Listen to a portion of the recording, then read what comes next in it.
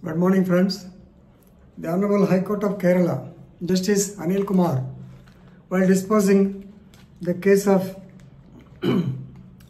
actually revision case of C.R. Raju, S.I. Konni P.S. versus State of Kerala and another person by name Satish Kumar, held that slapping the complainant by the police, slapping on cheeks of the complainant by the police does not come and uh, under the due discharge of uh, official duty. So no protection under section 197 CRPC can be given to such persons. So while disposing uh, the revision petition number 3366 by 2007 against the taking cognizance of uh, the CC number 266 by 2005, the High Court uh, Justice Anil Kumar held like this.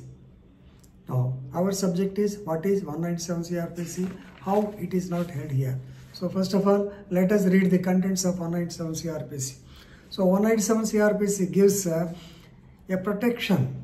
That means, uh, unless sanction is given by the government, uh, that person, the public servant, the judicial officer, whoever may be the person, he cannot be uh, prosecuted. That is the crux of section 197 CRPC. It says like this 197 CRPC says prosecution of judges and public servants.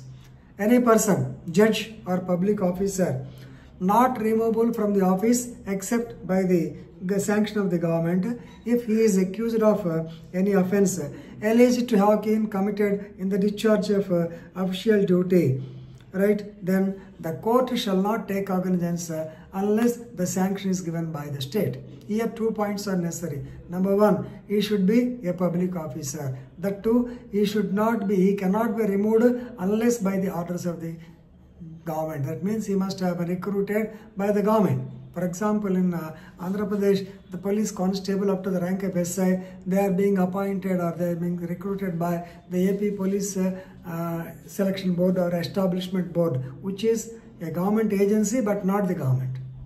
Right? Second is discharge of official duty. Please remember, a policeman is supposed to be on duty for 24 hours. But discharge of duty means when he is acting as a police constable, then it comes as a discharge of duty. Now, let's go back to the case facts. Right? Normally, you may be knowing, a revision comes under uh, 397 CRPC and also 401 CRPC. 397 says they can call the High Court and things, uh, they can call for the documents. A regular provision is 401 CRPC. So, the SI CR Raju of Konni PS in uh, Pathanamthitta district of Kerala state, he filed a criminal revision petition before the Honorable High Court of uh, Kerala against the orders of JFCM 2 Pathanamthitta regarding that uh, CC 266 by 2005. Right. The facts of the case are like this. On 15-3-2005, the SI police CR Raju sent word to the so-called second accused or second appellant uh, Satish Kumar to come to the police station to inquire into an allegation filed by Mr. Mohanan. Right. So as per the uh, notice from the police, Mr. Satish Kumar went to the police station. Of course, the petition inquiry was done. During the course of inquiry, the SI slapped Satish Kumar on his cheeks in the presence of Mohanan and he felt very bad. Of course, later he was let off. He went to the house, but he was uh, actually aggrieved by the treatment of the police officers. Therefore, he police SI. Therefore, he went to the government hospital, got himself admitted, got a medical certificate. Of course, the hospital authorities sent an intimation to the OP head constable who recorded the statement, but no case was registered. Ultimately, Satish Kumar filed a private complaint before the Honorable JFCM 2 at Pathanamthitta and it was taken on file as CC 266 by 2005 and summons were issued to the SI. right, he attended the court. Of course, he did not plead guilty. His lawyer stated that he was in the discharge of his official duty. He might have slapped him like that, but the court did not agree. So they wanted to proceed with the trial. Uh, during the, uh, yes, definitely, the evidence of PW1 was also over. At that time, aggrieved by the order of the JFCM regarding 197 CRPC, this man approached the Honorable High Court. So the advocate on behalf of uh, the SI, he stated that uh, the JFCM did not consider the uh, official duty of the SI and uh, no protection could be given 197 CRPC even though 197 CRPC says uh, sanction is necessary but the magistrate did not obtain any sanction straight away he took it on file and now he started the so-called trial also. These are the allegations uh, these are the attributions by the advocate on behalf of the SI and uh, in this connection when the judge asked uh, the advocate stated that in connection with a petition inquiry, Satish Kumar was called to the police station under section 160 CRPC and during the course of inquiry he used uh, the minimum force uh, and uh, actually that uh, he also says that the, this act was done in the discharge of his uh, official capacity right but the public prosecutor on behalf of the state uh, stated that the action of uh, the sub-inspector of police in assaulting or in slapping uh, Satish Kumar was not in the due discharge of shift capacity and no sanction under 197 CRPC is necessary.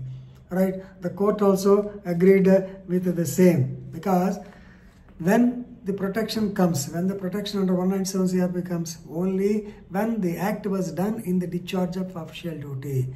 To be clear, I will tell you. Suppose if uh, uh, Mr. the SI police uh, entered the house of Satish Kumar and uh, he wanted to search for something, if uh, Satish Kumar raised objection and then if force was used by the SI, yes, it is in the discharge of official duty.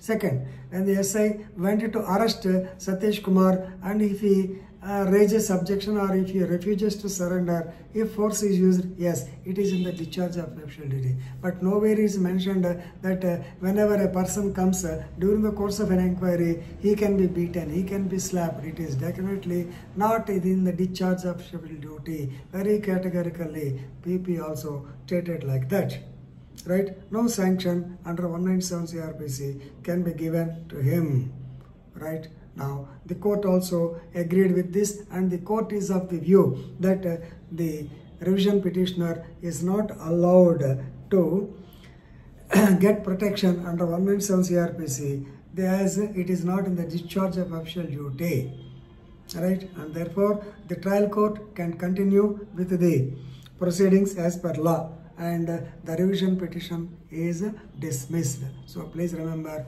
where 197 CRP applies and where 197 CRP does not apply. This video will be useful to both the police officers and also the advocates. Police officers should know that uh, you should know the difference between on duty and discharge of official duty. And uh, Please remember, according to section 46 CRPC and somewhere in the CRPC, it is stated that the police can use minimum force when the accused is absconding, when he is not, when he is, when he rebels against you. That's all. In other aspects, you should not use the force. And secondly, as per the advocates, you have to know 197 PRC. Two points are important. The person, the officer, should have been directly recruited by the government if is not recruited by the government, then definitely no sanction is necessary.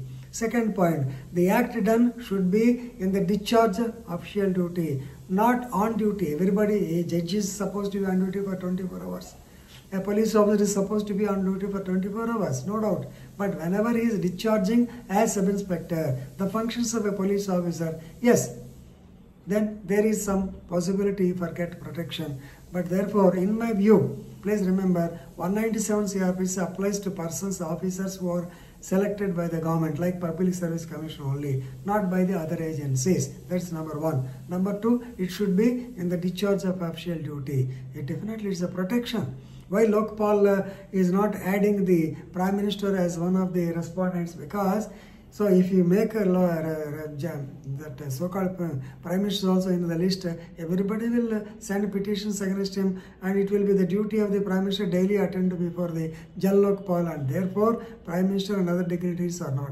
Therefore, a public servant who does the duty with so much of care, something will happen, but he should be protected. That is where 197 CRPC lies. It's a good judgment. So, discharge of official duty, on duty, and protection under 197 CRPC we have dealt with. And please uh, enrich your knowledge by studying the case law. This case law is uh, that is. Uh, C.R.